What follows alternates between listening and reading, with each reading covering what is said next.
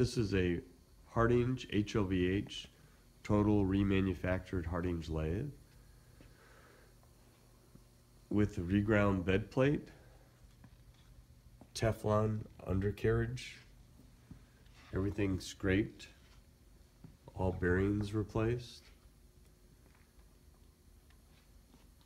new tailstock quill spindle, lead screws and nuts replaced, import lead screw and nut installed.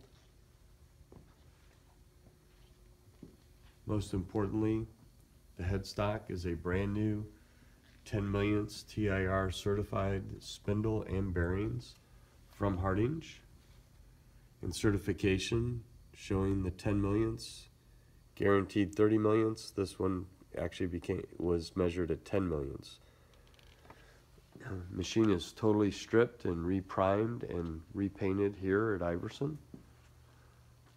This machine has test cuts performed on it and guaranteed to plus or minus one tenth capability. Chip and coolant shield mounted as well as collet closer safety guard and end cap. Coolant facilities.